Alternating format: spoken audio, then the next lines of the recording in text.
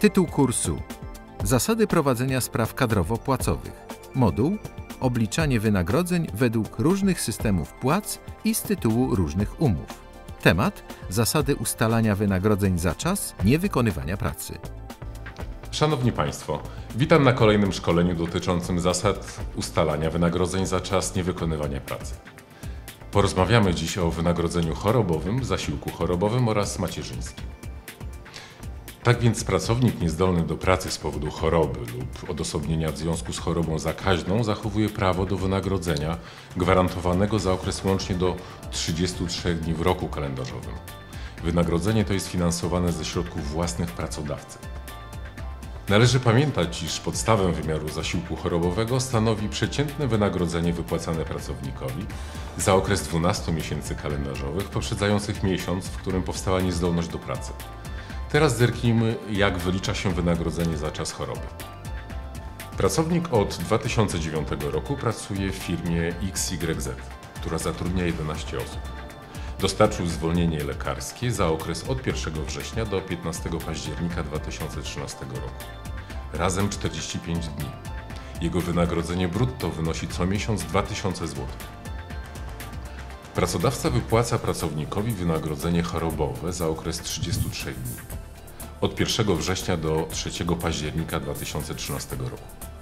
Za okres 12 dni należy się pracownikowi zasiłek chorobowy płatny przez ZUS. Pracownik przez 12 miesięcy otrzymywał 2000 zł brutto. Miesięczny przychód pomniejszamy o składki społeczne płatne przez pracownika w wysokości 13,71%. 2000 zł razy 13,71% równa się 274 zł 20 groszy. Czyli 2000 zł odejmujemy 274 zł 20 groszy równa się 1725 zł i 80 groszy.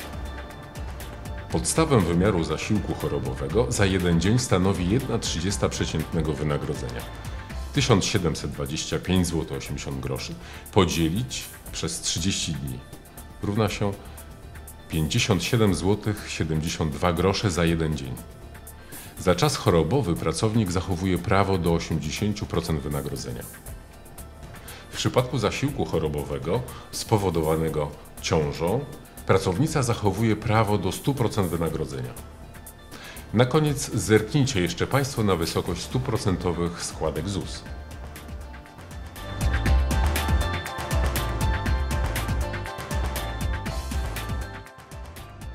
Materiał został opracowany w ramach projektu Model systemu wdrażania i upowszechniania kształcenia na odległość w uczeniu się przez całe życie, współfinansowanego przez Unię Europejską w ramach Europejskiego Funduszu Społecznego.